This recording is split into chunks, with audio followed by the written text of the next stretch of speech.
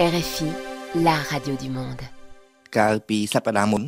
ខ្ញុំបានលើកឡើងអំពីការវាយប្រហាររបស់រាមាយុធាយកទីក្រុងឧដុង្គបាននៅឆ្នាំ1861រាមាយុធាជាមេតបដ៏ពូកែម្នាក់របស់ស៊ីវថាប៉ុន្តែពុំមែនជាអ្នកនយោបាយចេះគ្រប់គ្រងជ័យជំនះឡើយ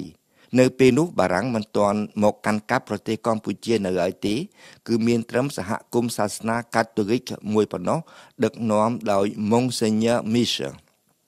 ដោយមេតបដ៏ពូកែនេះមិនចេះតាក់ទាញឲ្យចៅហ្វាយខេតនៃរាជាណាចក្រទាំងមូលគ្រប់គ្រងខ្លួនអំណាចទាំងមូលក៏របូតបាត់ទៅវិញ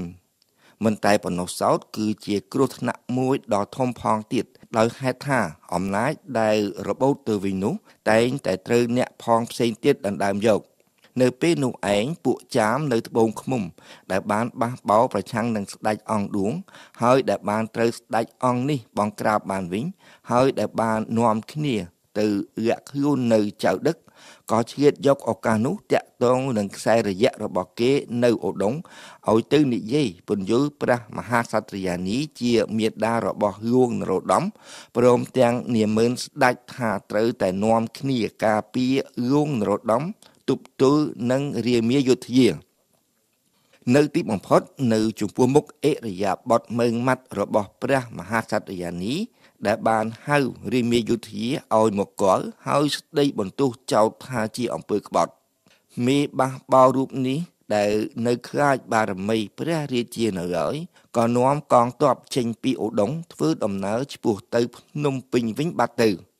នេះជារឿងដែលរកយល់សឹងមិនបាន ព្រោះមិនដឹងជាយ៉ាងដូចម្ដេចបានជាព្រះអង្គម្ចាស់ស៊ីវថាមិនដឹកនាំការវាយយកអូដុងដោយផ្ទាល់ បើគ្មានមេដឹកនាំនយោបាយទេ កងទ័ពក្រន់តែជាចៅព្រៃប៉ុណ្ណោះនៅក្នុងន័យនេះរាមាយុធ្យាគ្មានច្រកឯណាទៀតក្រៅពីដកថយទេ ព្រោះពួកចៅវាយខេតអាចនឹងវាយក្តោបមកវិញម្យ៉ាងទៀតសៀមគេច្បាស់ជាមិនបណ្ដោយឲ្យរាមាយុធ្យាយកអំណាចទេ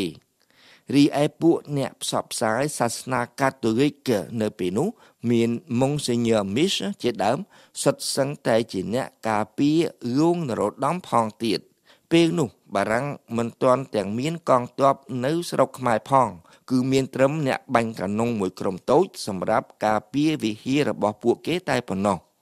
ព្រោះតែខ្លាចកានុងនេះរាមាយុធាចាញ់សម្រិតរហូតដល់ថ្នាក់សុក ចិត្តបងប្រាក់ដល់សន្ធឹកសន្ធាប់សងជំងឺចិត្តដល់ពួកអ្នកទាំងនោះទៀតផង គឺសងប្រាក់ថ្លៃខូចខាតវិហារនៅពុញាឬដែលពួកគេបានបំផ្លាញចោលកាលពីពេលមុននោះ បន្តមកពួករាមាយុធាធ្វើសកម្មភាពបះបោទៀតនៅតាមជាយដែនភៀកខាងត្បូងប៉ុន្តែធ្វើការវាយរុកចូលជ្រៅមិនបានសោះចៅវាយខេត្តត្បូងឃ្មុំធ្វើការទប់ទល់វិញដោយឥតរួញរា នៅពេលនោះដោយរឿងនរោត្តមពុំមានវត្តមាននៅក្នុងស្រុក អង្គស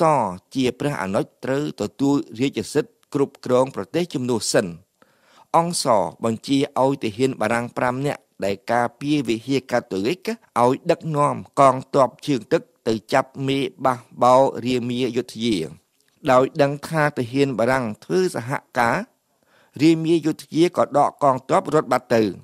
កាលបើបានដឹងរឿងនេះយោងនរោត្តមដែលគង់នៅទីក្រុងបាងកកក៏កើតក្តីបារម្ភខ្លាចក្រែងអង្គសដណ្ដើមរាជក្រោយមក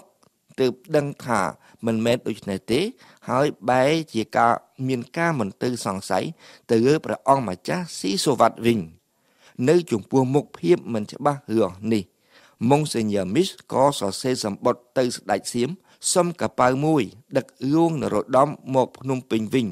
ហើយថែមទាំងសុំឲ្យកងទ័ពសៀមមួយចំនួនចូលមកស្រុកខ្មែរតាមខេត្តបាត់ដំបងទៀតផងសៀមអរណាស់ដោយបានឱកាសជួយស្ដេចខ្មែរដូចនេះ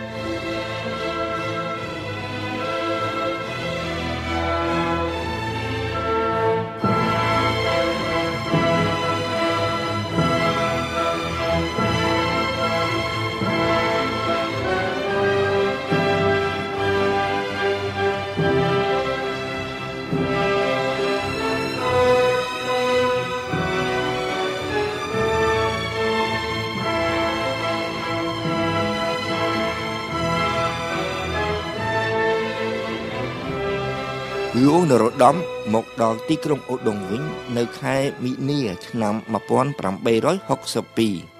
ប៉ុន្តែសៀមឲ្យតែកប៉ៅជូនមកប៉ុណ្ណោះគឺមិនហ៊ានបញ្ជូនកងទ័ពមកទេរីឯម៉ុងសេញ័រមីសវិញបានត្រូវអាញាធរបារាំងនៅកូសាំងស៊ីនបន្ទោសយ៉ាងខ្លាំងព្រោះមិនគិតពឹងបារាំងដែលនៅចិត្តបង្កើយហើយបែរទៅជាពឹងសៀមទៅវិញមុនព្រឹត្តិការណ៍នេះ គឺតាំងពីមុនខែមិនិនាឆ្នាំ1861ឧត្តមនាវីបារាំងសាក់ណែមេបញ្ជាការនៅទីក្រុងសៃហ្គនបានបញ្ជូនបេសកជនម្នាក់ឲ្យទៅទូថ្វាយព្រះមហាក្សត្រខ្មែរថា បារាំងមានគោលបំណងតាំងទីនៅកូសាំងស៊ីនហើយនៅក្នុងន័យនេះប្រាថ្នាចង់មានទំនាក់ទំនងល្អជាមួយព្រះរាជាខ្មែរ ក្រោយពេលដែលលោកនរោត្តមយាងវើត្រឡប់មកស្រុកខ្មែរវិញនៅខែមិនិនាឆ្នាំ1862រាមាយុធា និងស្នងសូបានត្រូវចាប់ខ្លួនហើយកាត់ក្បាលយកទៅថ្វាយព្រះរាជា គេបានយកក្បាលជនបះបោតទាំងពីរនោះដោតនឹងដងឫស្សីត្រួតអឿគ្នា ហើយដើរបង្ហាញអ្នកស្រុកអ្នកភូមិ បន្ទាប់មកយកទៅដោតតាំងនៅខាងលិចព្រះរាជវាំងឧដុង្គនៅពេលដែលបារាំងចាប់អ្នកចូលដៃជើងរបស់ព្រះអង្គម្ចាស់ស៊ីវត្ថាទៅដាក់គុកនៅកោះត្រូវអាចអស់ទៅព្រះអង្គម្ចាស់ស៊ីវត្ថាក៏លាក់ខ្លួនរហូតដល់ខែមករាឆ្នាំ1885ទើបចាប់ធ្វើការតស៊ូនៅក្នុងព្រៃសាជាថ្មីទៀតនៅតំបន់អេសាន ប៉ុន្តែម្ដងនេះគឺដើម្បីចូលរួមចំណែកជាមួយប្រជានុរាស្ត្រទូទាំងប្រទេស ដែលបានងើបឡើងបះបោប្រឆាំងនឹងបារាំងព្រោះតែបារាំងធ្វើទុកបុកម្នេញគំហិតយកពន្ធដារដោយឥតអាសូរហើយបង្ខំឲ្យស្ដេចខ្មែរប្រគល់អំណាចទាំងអស់ទៅឲ្យគេទៀត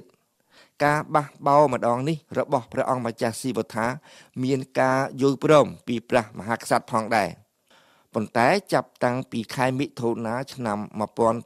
1886នៅពេលដែលការបះបោមានកម្លាំងខ្លាំងមហិមាលោកនរោត្តមក៏ចាប់ផ្ដើមមានការបារម្ភខ្លាចក្រែងអង្គស៊ីវថា អាចនឹងឡើងសោយរាជជំនួសព្រោះអង្គស៊ីវថា មានប្រជាប្រិយភាពដ៏ធំ នៅក្នុងចំណោមមន្ត្រីក៏ដូចជានៅក្នុងចំណោមប្រជានុរាស្ត្រនៅខែមិថុនាឆ្នាំ1886 លោកនរោត្តមសម្រេចបញ្ឈប់ការបះបោរហើយសន្យានឹងបារាំងថានឹងធ្វើសហការជាមួយបារាំងបន្តទៀតតាមការពិតលោកនរោត្តមមានគោលបំណងត្រឹមទាមទារឲ្យបារាំងប្រគល់អំណាចមកវិញតែប៉ុណ្ណោះដោយប្រើកម្លាំងអ្នកស្នេហាជាតិនិងចលនាបះបោររបស់អង្គស៊ីវត្ថាជាប្អូនអង្គស៊ីវថាចូលជីវង្គតនៅឆ្នាំ1891នៅក្នុងជំនាយុ 50ព្រះវស្សា